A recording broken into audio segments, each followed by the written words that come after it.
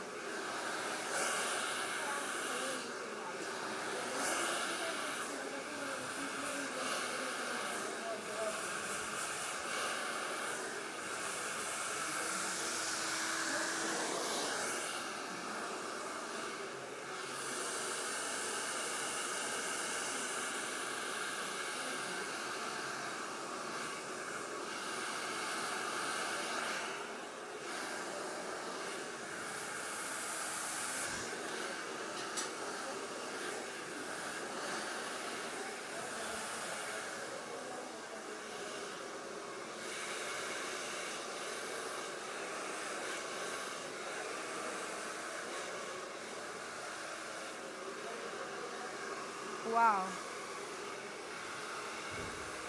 Нічого не йшло. Да.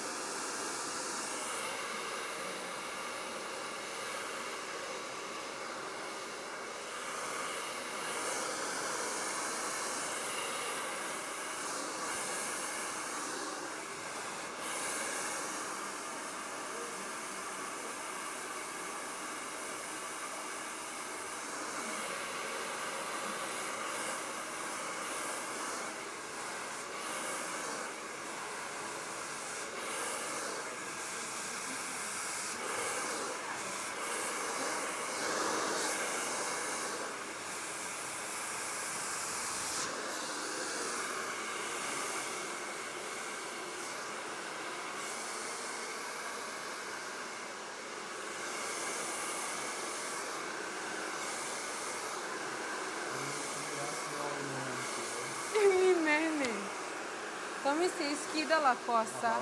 Da.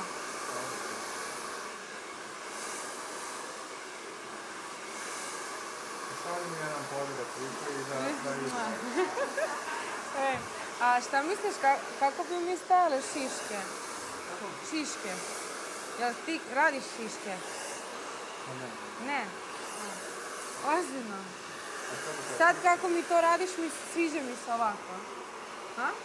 Ovdje mogu da Šta misliš ti? one bave što.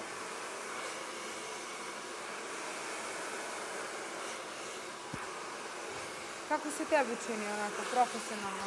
Minimo potpuno krasa. A, ok.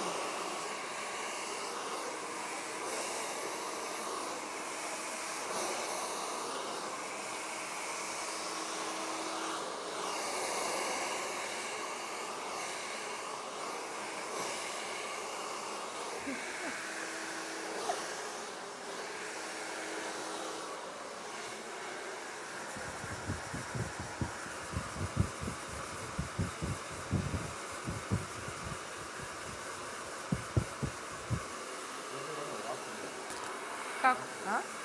Da, ali stajale bi mi, da? Stajale bi mi, baš da. Uradi kako. da. Uradi mi tako.